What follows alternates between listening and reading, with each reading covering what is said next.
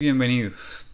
Eh, para hoy, que es 30 de mayo, eh, vamos a hablar sobre la siguiente fase de la parte evaluativa del curso del modelo de gestión curricular de la Fundación Universitaria de Popayán.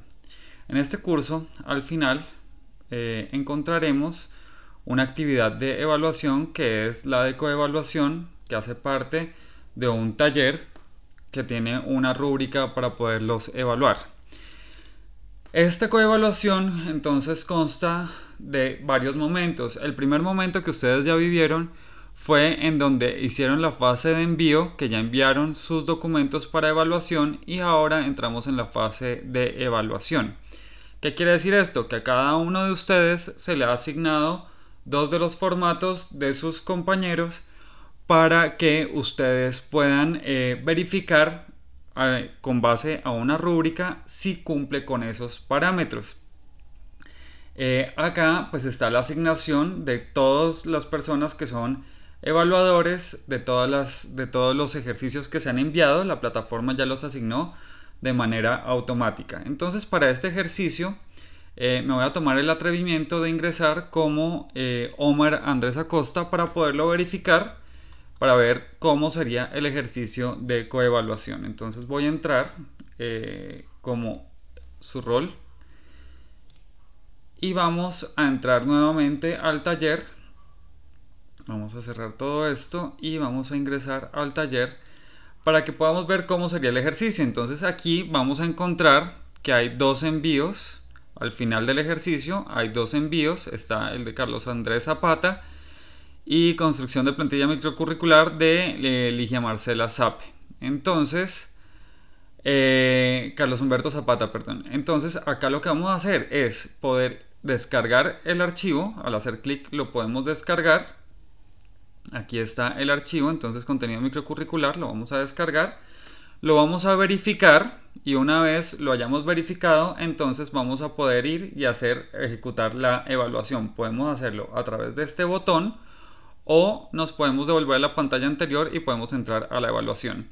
Una vez tengamos la evaluación, entonces vamos a poder elegir una escala. Entonces tenemos cuatro aspectos que estamos evaluando. Uno, la entrega oportuna. Esto quiere decir que pues si ya se entregó está a 10 de 10. Acá podemos escribir cualquier tipo de comentario.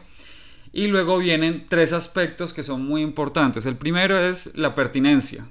El segundo es la factibilidad y el tercero es la claridad y precisión en la redacción. Eh, estos básicamente están relacionados con cómo ha sido escrito eh, los rack y si eh, se describe claramente cuáles son los alcances que va a tener el estudiante dentro del curso. Además, si el contenido ha sido claro. Estos están en una escala ya no de, 10, de 0 a 10, sino que están de 0 a 30 es muy importante ser muy objetivos, esto no va a variar la participación de ustedes en el ejercicio, de hecho ya ha sido muy claro que han participado activamente, pero sí es muy importante que desde su perspectiva docente puedan eh, ser muy objetivos en el momento de asignar una, una validación o una evaluación y escribir los comentarios de lo que hayan encontrado porque eso va a permitir que desde la coordinación de gestión curricular se puedan hacer los ajustes o precisiones necesarias a cada uno de los formatos y esto va a servir para un plan de mejora que se va a desarrollar alrededor de la institución. Les recuerdo que esta valoración no afecta absolutamente nada la participación de ustedes y se les va a certificar el proceso, pero nos va a servir a nosotros para poder eh, mejorar esos contenidos. Al final van a encontrar una retroalimentación global en donde podrán escribir todos los comentarios o las cosas que ustedes deseen comentar alrededor del ejercicio del archivo y después le vamos a dar guardar. Pueden darle guardar y mostrar siguiente si tienen si están en el primer archivo y van para el segundo archivo.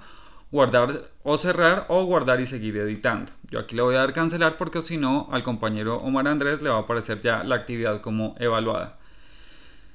Una vez ustedes terminan de evaluar, se cerrará esta fase de evaluación y ya se terminará el ejercicio de este eh, eh, curso de eh, gestión curricular y les quiero agradecer a todos por su participación.